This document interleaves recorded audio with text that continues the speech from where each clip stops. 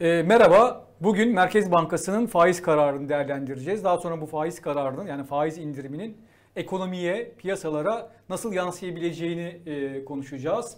E, önemli bir konuğumuz var. Eski bankacı Kerim Rota. Hoş geldiniz Kerim Hoş Bey. Hoş bulduk.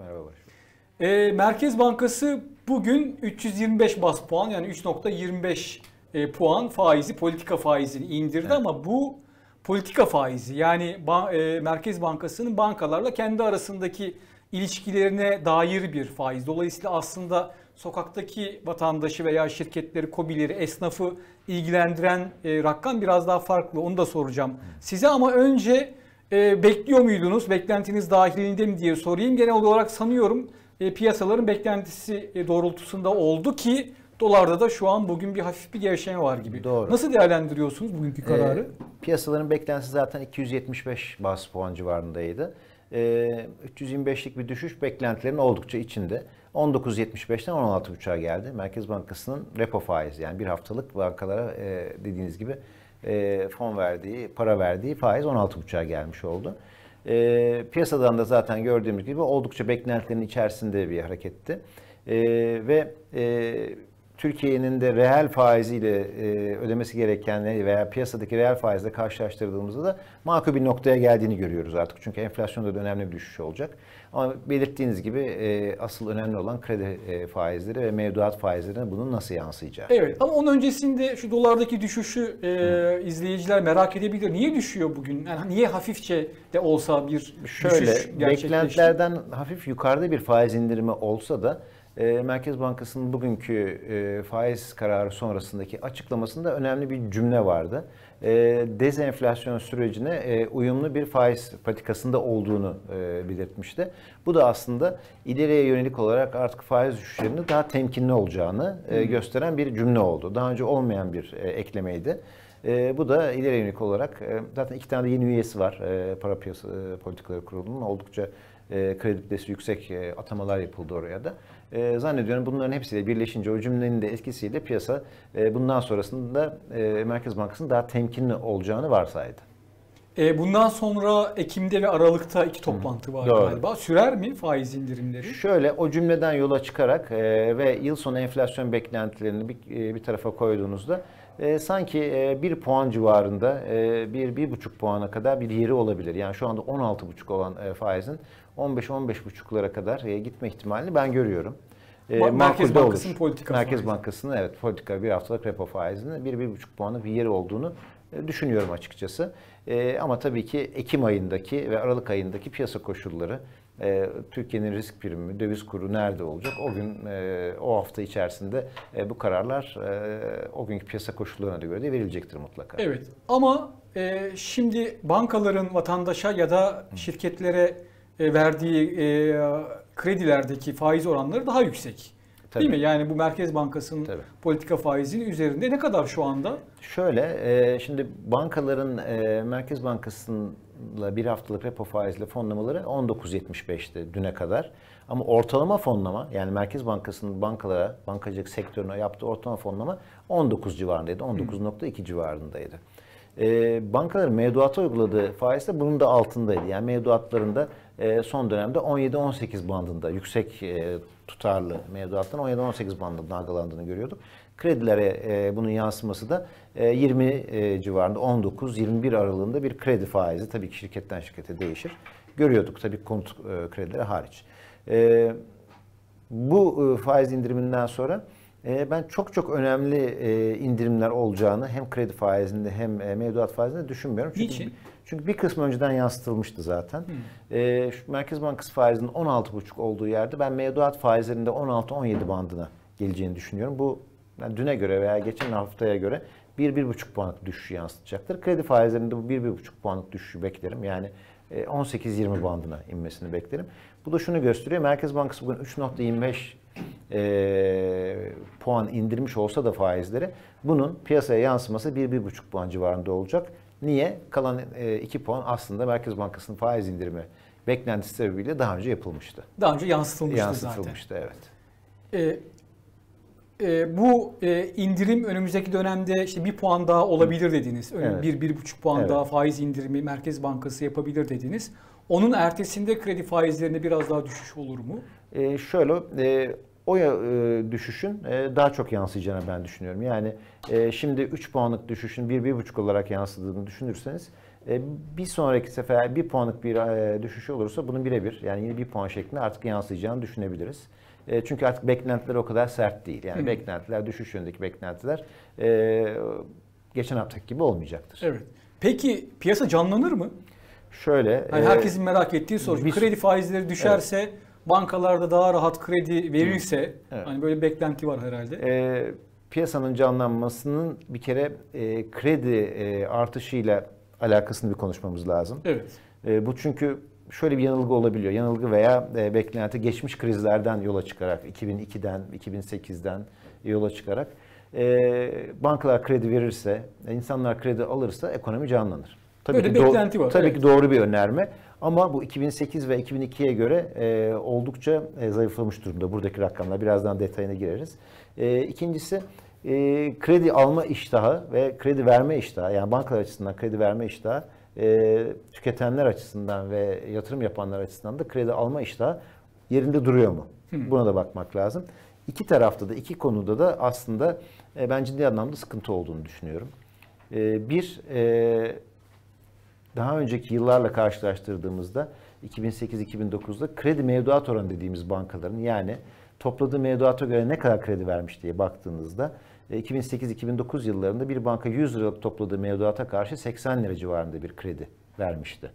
Bugün itibariyle toplanan 100 lira mevduata karşı 120 liralık bir kredi verilmiş durumda. Yani mevduattan daha fazla kredi evet, veriyor şu zaten an. Zaten kredi stoğu var. Ee, ve bu kredi stoğu e, bir noktada e, aslında kredilerin yani öz kaynak öz kaynaklarla mi ama yerli kaynaklarla e, fonlama deriz biz ona. Yerli kaynaklarla toplanan paranın biraz da üstüne çıkmış vaziyette. Yani bankalar hem bu işe sermayelerini koymuş durumdalar hem de dış kaynaklara yani dış borçlanmayı da kredi e, plasman olarak zaten yapmış durumdalar. Dolayısıyla 2008-2009'da olduğu gibi e, o %80'lerin %100'e hızlı bir şekilde çıkması bu sefer oluşmayacak. Yani %120'den %140'a bu hızlı bir şekilde çıkamaz. Evet. E, bankalar bu konuda bir, yeterli kaynakları yok. İki, daha temkinli olacaklar. Dolayısıyla kredi verenler açısından e, işler çok e, 2008'e veya 2002'ye benzemiyor kredi patlaması pek kolay değil. Pek Peki kolay. alanlar açısından? Alanlar açısından da onun da büyüme rakamlarının içinde biraz e, gizli. Büyüme rakamlarına baktığınızda e, son büyüme rakamlarında yatırımlardaki düşüş %22.8'e ulaşmış durumda. Yatırımlardaki tabii bunun önemli kısmı da inşaat. Yani inşaat yatırımlarındaki düşüş de bunun bir yarısını temsil ediyor ama onun dışında da yatırımlarda ciddi anlamda düşüşler var. Yarısı inşaat mı bu arada? E, evet. Yani yatırımlardaki düşüş. düşüşün evet. önemli kısmı.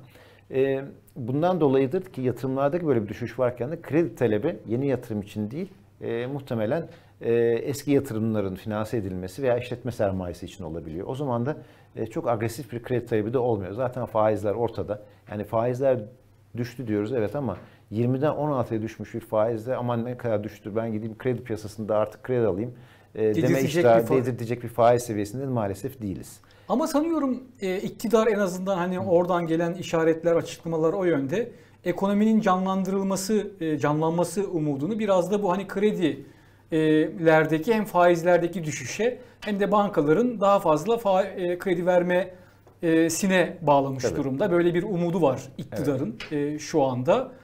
E, işte mesela kamu bankaları konut faizlerini %1'in altına çektiler. çektiler. Hı hı. Diğer yandan işte zorunlu karşılık oranları düşürüldü. Evet. Yani daha fazla kredi veren bankalar kredi hacmini %10 ile 20 arasında arttıranlar daha az zorunlu evet. karşılık yatırıyorlar Merkez Bankası'na. Ama buna rağmen gelen işaretler anladığım kadarıyla özel bankaların çok da öyle yani bu teşviklere rağmen e, pek de o kadar böyle iştahlı olmadığı yönde ama siz Doğru. biraz önce bunun sebebini açıklamış olduğunu evet, sanıyorum. Yani belki bir e, sebep daha koymak lazım ortaya.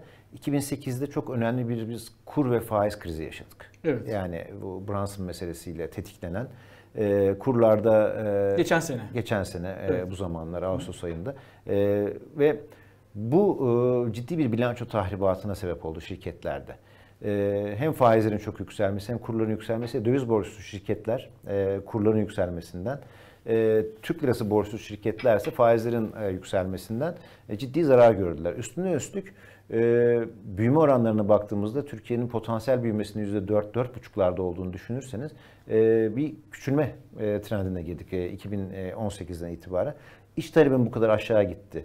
E, bilançoların bu kadar tahrip olduğu bir yerde tabii ki e, ciddi anlamda e, bankalarda bilanço tahribatına endişelenip bizim e, takibe geçmiş alacaklar dediğimiz veya takibe geçmiş alacaklara aday krediler dediğimiz kredilerde de e, artış olacak ve oluyor. Hı. Geçen sene zaten %3'lerden 4,5'lara geldi bu sektörde. Yani batık krediler. Batık krediler. Halkın evet. öyle yani halkın e, batık. evet. E, dolayısıyla bu rakam artacak. Tabii ki bu rakamın artacağından endişe eden bankacılık sistemi de e, buna e, yönelik bir tampon oluşturmak istiyor. Bu tamponu evet. iki şekilde oluşturabilirsiniz.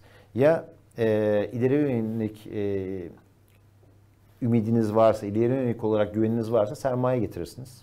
Sermayeyi koyarsınız ve bu tampon oluşur, kendiliğinden oluşur. Hı hı. Ve kredi vermeye devam edersiniz o tamponla. Veya ikincisi e, kredileri kesersiniz, frene basarsınız kredilerde. Zaten e, bir karlılığınız vardır. O karlılık devam ediyor iyi kötü de olsa. O karlılık birikir. Biriken karlılıklarla bir tampon oluşturursunuz. Şu anda bu ikincisi yapılıyor. Yani bankalar açısından frene basılmış durumda e, ve biriken karlarla bir tampon oluşturulmak isteniyor. Çünkü ileriye yönelik olarak e, kredilerdeki takibe geçmiş olacak rakamların daha yukarıya gideceğine dair doğal olarak bir endişe var. Ama iktidar bundan pek de memnun değil. Daha Mutlaka yeni değil. E, Sabah gazetesinde örneğin Hı. bir yazı okudum. Siz de okumuşsunuzdur. Evet. E, büyük bankalardan biri adında verilen İş Bankası'nın geçtiğimiz yıl e, kredilerini e, olumlu denebilecek bir şekilde yani tırnak içinde olumlu evet. yani yazarın diliyle söylüyorum arttırdı ama bu sene e, kredilerde frene bastı. Hı hı. E, bunun da e, belli ki iktidar çevreleri tarafından pek hoş karşılanmadığı e, hatta bu bankanın yani İş Bankası'nın e, eleştirildiği e, söyleniyordu. Sorgulanıyordu yani İş evet. Bankası neden kredilerde e, şeye bastı, frene bastı ama siz aslında bunun açıklamasını yapıyorsunuz. Diyorsunuz evet. ki böyle bir durum var. Yani e, batık kredilerde bir artış var. Üstelik evet. hani çok kredi, kredi talep eden insan da çok fazla değil. Yok. Evet. E, e, Bunlar ama... birleşince e, özellikle özel sektör diyeceğim yani kamu bankaları dışındaki sektörün zaten e, bir kredi iştahının olmadığını görüyoruz. Yani ne yapılsa edilse bu rakamlara pek yansımıyor. Evet. E, bu ee, Ama kamu bankalarının faiz e, kredilerinde bir artış var. Var. Kamu bankalarının Bunu nasıl kredisi şöyle e, aslında e, kamu bankalarına da bir sermaye kondu e, bu yıl başında. Evet. E, ikrazdan verilen tahviller yoluyla hem e, birinci kuşak sermaye diye adlandırdığımız hem ikinci kuşak sermaye diye adlandırdığımız bir sermayelendirme aslında e, yapıldı. Bunun bir kısmı işsizlik fonu üzerinden yapıldı, bir, bir kısmı hazine üzerinden yapıldı. Dolayısıyla bir sermaye ilavesi yapıldı. Özel bankalarda bu kadar kuvvetli bir sermaye ilavesi biz e, 2019 yılı içerisinde e, pek görmedik. Yani ufak tefek şeyler var ama... Yapı kredi mesela galiba küçük yaptı, bir şey Evet, yaptı. E, onlar da birinci kuşak sermaye Akbank'ta aldılar yurt dışından.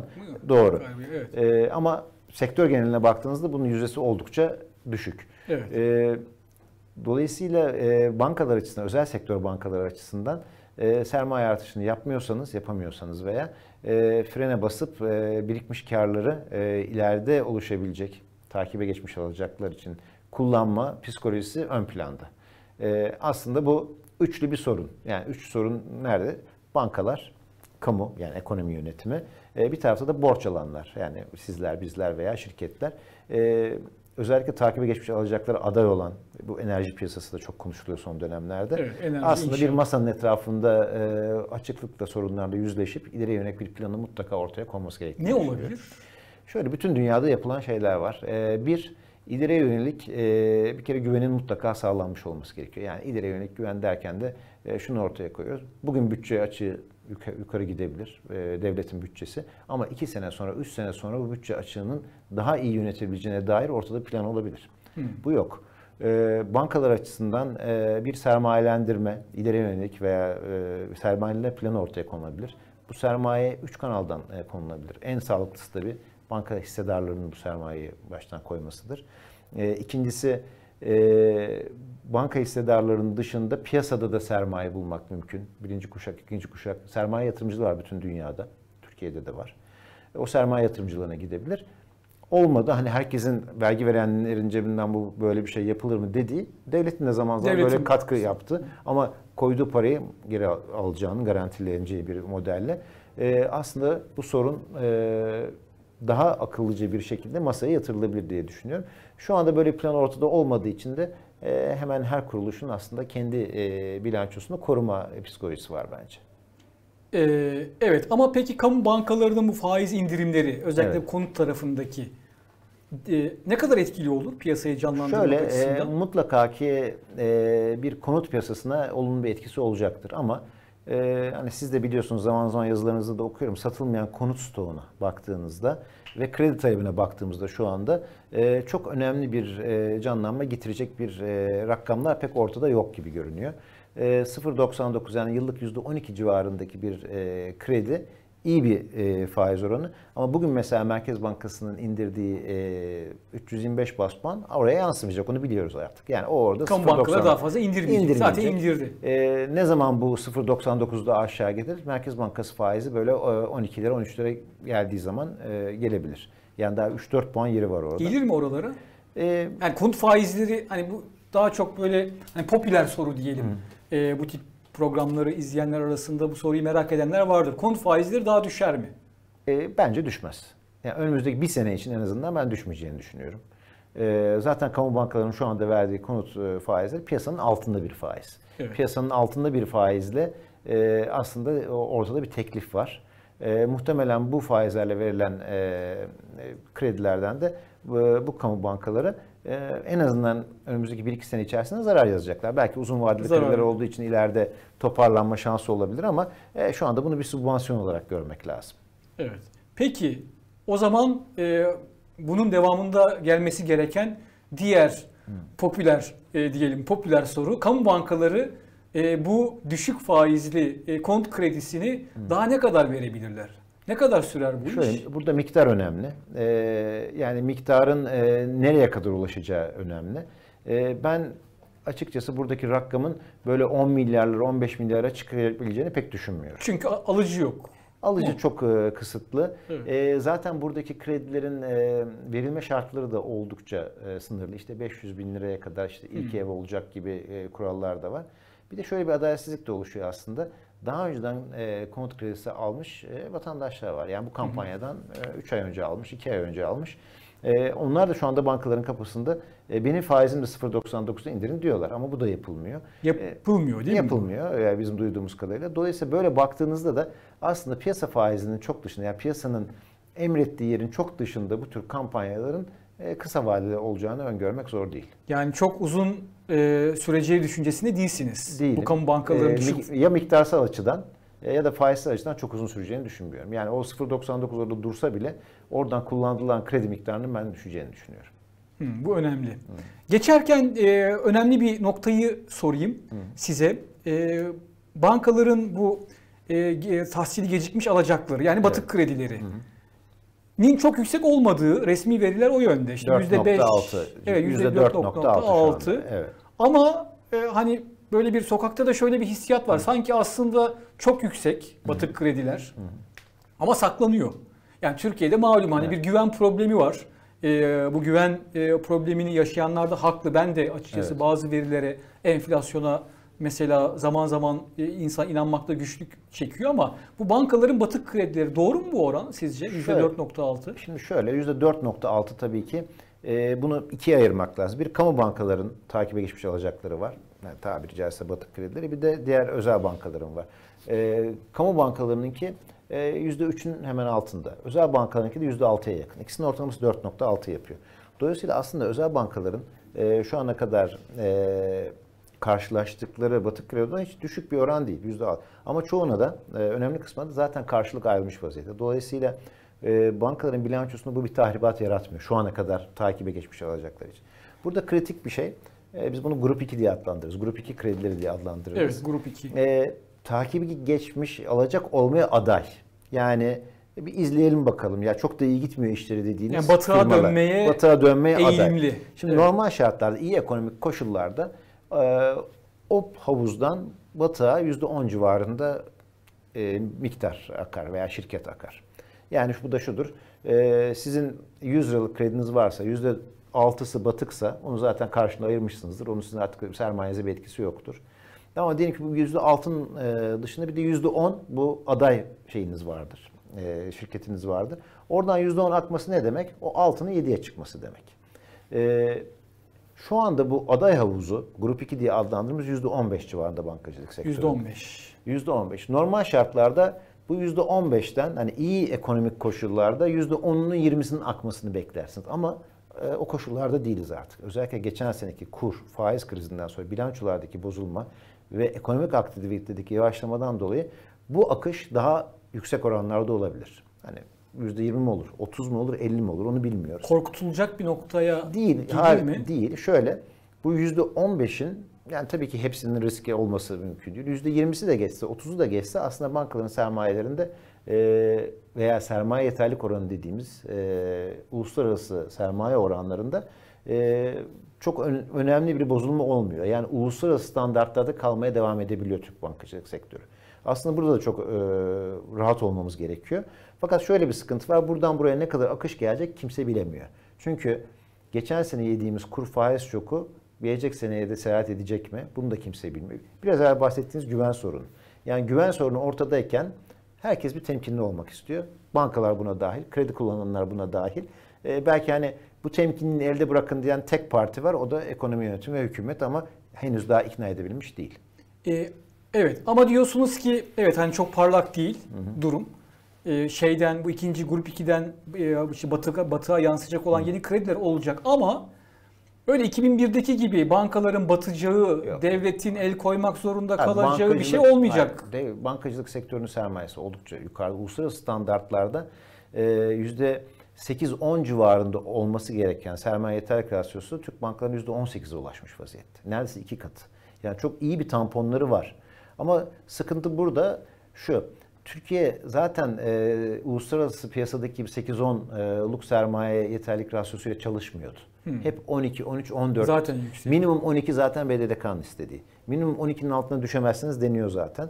Bankalarda şunu ölçmeye çalışıyor. Ben 18'den 12'ye gider miyim gitmez miyim? Bunun e, henüz daha şeyini bilmiyorlar. Sonucunu bilmiyorlar. Önlerini İleri göremiyorlar. yönelik planlar yapılıyor. Önlerini göremedikleri için de temkinli olmaya devam ediyorlar. Peki bu kredi Türkiye ekonomisinin canlanması için yani şu an bir durgunluğun içindeyiz. Belli Evet. zaten ekonomi işte 3 ay e, üst üste 3 çeyrek üst üste daraldı, Tabii. daralıyor.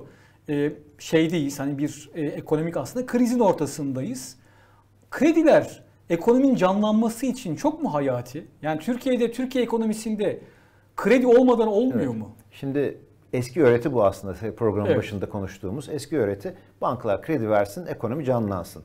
Herhalde iktidarın da şu anki E, bakışı böyle. iktidarın da Evet. bakışı böyle ama bence artık doğru değil. Yani kredi mevduat oranı %120 olduğu yerde e, bu eskisi kadar geçerli bir önerme bence kesinlikle değil.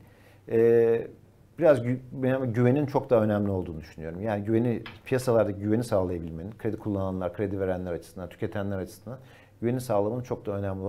Orada çok daha bizim kapsamlı ve yapısal sorunlarımız var. Peki e, yani güven yani insanların geleceğe güvenle bakabilmesi değil mi? Yani ben bir ev alayım 10 sene boyunca kredi ödeyeceğim. Bunun için hakikaten Evet. güven gerekiyor. Yani hani Türkiye'nin bir daldığı, bir çıktığı, e, sürekli seçimlerin olduğu bir ortamda herhalde çok kolay değil. Ama hani siz onu soralım o zaman. Bu güven nasıl sağlanır? Şöyle e, hani başlıklar var. E, oradan yola çıktığımızda çok kolay olmadığını zaten göreceğiz. Yargı bağımsızlığı yok. Ha, siyasete geldik. Siyasete geldik tabii. Evet. Yargı bağımsızlığının olmadığı yerde, liyakatın e, sorgulandığı, işte Merkez Bankası Başkanı'nın bir gecede görevden alınabildiği yerde, e, denetim mekanizmalarının çalışıp çalışmadığını e, çok iyi ölçemediğimiz yerde aslında bunun gibi 8-10 tane başlık. Yani her yerde konuşulan şeyler bunlar. Yani bu bir ekonomi programı olduğu için Evet. belki ona çok derine girmek lazım değil. E, bütün bunların olmadığı bir yerde güvenin sağlanması da çok çok zor oluyor doğal olarak. Ve ileriye yönelik bir rehberliğin de olmadığını görüyoruz. E, ekonomi yönetiminden, Merkez Bankası'ndan veya diğer bağımsız kuruluşlardan da ileri yönelik bir rehberlik yok. Genellikle hep kısa vadeli önlemler. Bir paket açılıyor e, ama o paket e, büyük bir paketin parçası olmuyor. Genellikle e, biz 15 günde bir, ayda bir aslında her kuruluştan, Merkez Bankası'ndan bir şey görüyoruz, BDDK'dan, SPK'dan bir şey görüyoruz, ekonomi yönetiminden bir şey görüyoruz. Yani e, konsolide bir aksiyon e, şu ana kadar görebilmiş değiliz. Haklısınız. Yani geçenlerde mesela bu bahar aylarında Nisan'dı galiba. e, Hazine ve Maliye Bakanı Berat Albayrak bir ivme paketi açıkladı. İvmede e, makina sektörünün kredilerle desteklenmesi özellikle önemli Evet. bir yer tutuyordu. Ben daha sonra makina sektöründen bir e, şirketin yöneticisiyle görüştüğümde ya hani öyle bir paket açıklandı ama somutta hiçbir şey yok dedi. Yani paketler açıklanıyor. Hakikaten acaba onlar yansıyor mu? Şey- Şöyle yani tabii paketlerin bir kısmı e, bankaların kredilerini desteklemek e, amacıyla e, olabiliyor. E, bir kısmı e, hazine borçlanmasını kolaylaştırmak amacıyla olabiliyor. İşte daha önce fonların e, e, kısa vadeli bonolara yatırım yapmasını e, öngören gibi. E, Sonuçta hepsi ufak tefek bir işe yarıyordur ama ekonominin genelinde Türkiye çok büyük bir ekonomi. Yani 740 milyar dolarlık bir ekonomi. Ekonominin genelinde bir hareket yaratacak aksiyonlar hiçbir tek tek değil.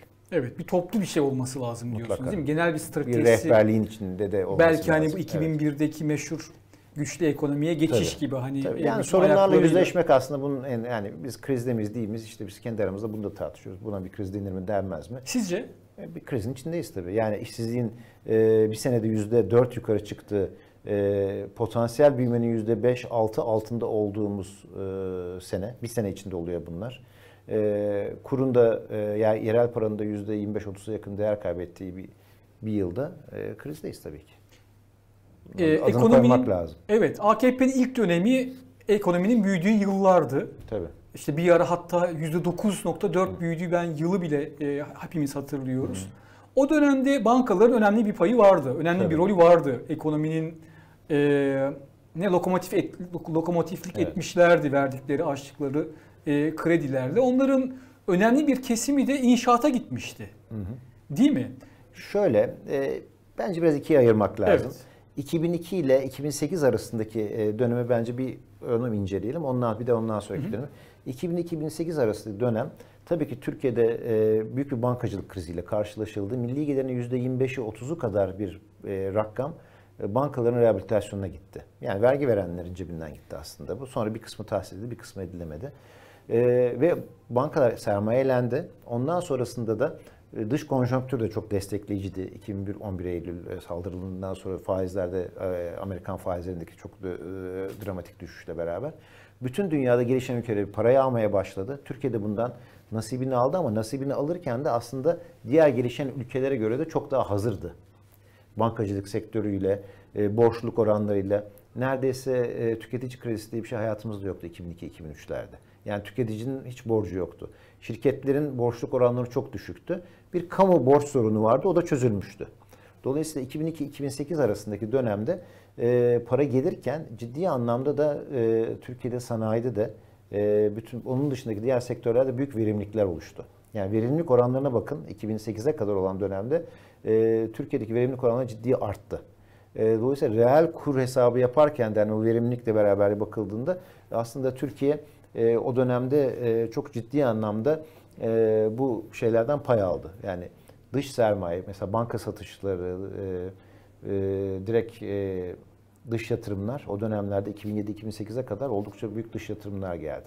2008 sonrası yani global kriz sonrasında da yine bu sefer e, faizlerin dramatik şekilde Avrupa'da Amerika'da düşmesinden dolayı yine bir ilgi oluştu. Ama artık bizim e, göreceli avantajımız diğer ülkelere göre, gelişen ülkelere göre, bizim gibi ülkelere göre işte Hindistan, Güney Afrika, Brezilya gibi ülkelere göre çok fazla bir geliş, e, avantajımız yoktu açıkçası. E, verimliliğimiz artmadı. İşte o dönemden sonra yapılan hemen hemen e, yatırımlar, işte inşaat olsun, diğer yatırımlar olsun oldukça verimsiz yatırımlar halinde oluştu. Ve yani 2008-2016 arasındaki dönemde de e, ciddi anlamda burada bir verimsizliğin ben oluştuğunu düşünüyorum. Peki e, tam burada herkes merak ettiği konulardan bir tanesi. Özel sektör demin söylediğiniz e, 2001 krizinin hemen ertesinde e, Türkiye'deki özel sektör firmalarının borcu, dış borcu çok azdı. Evet. Bugün işte 300 mil, küsür milyar dolarlık bir borç dağıyla e, Evet. karşı karşıyayız. Ve bu borç büyük oranda e, bankalar üzerinden geldi. Değil Doğru. mi? Yani Türk e, firmalar hani kredi e, aldılar e, döviz bazlı ve korkunç bir borç yükü oluştu. Nasıl oldu bu bu iş? Yani anlattığınız bir miktar ama biraz da hani bu işin arka planına bakacak olursak hesapsız kitapsız mı borçlandılar yoksa belki de bazı sektörlerde hakikaten e, gelecek çok parlak gözüküyordu. Dolayısıyla hani haklı ve evet. mantıklı, rasyonel krediler mi verildi diye soracağım ama Evet. e, bir taraftan da bugün baktığımızda işte enerji gibi, inşaat gibi bazı sektörlerde pek de öyle rasyonel olmadığını verilen kredilerin, borçların görüyoruz bugün. Nasıl değerlendirirsiniz? Şöyle e, biraz evvel bahsettim. Hani ben de e, o dönemler bankacılık sektörünün içindeyim. Belki de biraz öz eleştiri yapmak adına. Evet. E, bazı e, kredilerin e, açıkçası çok heveslice alındığı ve çok heveslice verildiği bir dönemde oldu. Yani döviz kredilerinin bir kısmı e, açıkçası e, verilirken içeride e, aslında Türk lirası cinsinden veya Türk lirası Türkiye'nin büyümesine endeksli işlere de döviz kredisi verildiği e, dönemler oldu. Enerji gibi mi? Ee, Şöyle hani enerjide de bir alım garantisi varsa sent bazında Evet. e, onda döviz kredisi vermekte çok büyük bir sıkıntı yoktu ama onun dışında da inşaata da döviz kredisi verildi. Yani aslında inşaat çok lokal bir ürün. E, tamamen e, Türkiye'nin iç dinamikleriyle alakalı. E, bu tür yanlış kredilendirmeler oldu. E, şu da oldu. E, Türk lirası kredi alınsa verimsiz olacak bir yatırım döviz kredisi alınarak verimli halde hesaplanabildi en başta. Yani e, hani biz EBITDA dediğimiz işte e, faiz e, dışı e, yatırımın iyi göründüğü e, ama e, işine faiz koyduğun zaman o yatırım zarara gidecek iş ya ben %13-14 ödemeyeyim Türk lirasına gideyim zaten Libor 0, Libor artı 2 ile %2 koyduğum zaman kur da artmaz zaten deyip verimli halde gözükebildi. Yani bu tür yanlışları da tabii ki çok yaptı Türkiye. Allah'tan bunu bireyler üzerinden yapmadı Türkiye. Yani 2007-2008 yıllarında hatırladığım kadarıyla döviz cinsi konut kredisi verilmesi yasaklandı. Yani gayet de doğru bir uygulamaydı. Ee, şimdi baktığınızda mesela bununla ilgili Polonya'da çok büyük sorunlar var. Ee, bireylerin Öyle mi? Tabii. Ee, İsviçre frangı cinsi borçlanmalardan dolayı sokaklarda insanlar da e, yürüyorlar. Bizde de buna ufak tefek e, şeyleri oldu, etkileri oldu ama zamanında bunu önlem alındı. E, zannediyorum 2008 sonrasında bu tür e, önlemler yani bireylerde yapılan önlemlerin bir kısmı şirket ve banka bilançoları üzerinde yapılması gerekiyordu. Onu, onu yapılmadı diye düşünüyorum. Yapılmadı. Evet. Bugün e, zombi şirketlerden bahsediliyor.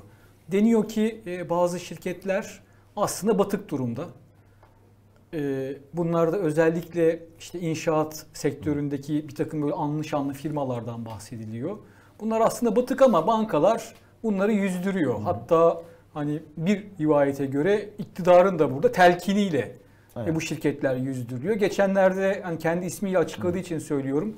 Örneğin Denizbank'ın CEO'su Hakan Ateş bunu söyledi. Dedi ki Cumhuriyet'teki röportajında zombi şirketler var. Hani onları taşımaktan yorulduk. Evet. Yani bankacılık sisteminin sırtına yük.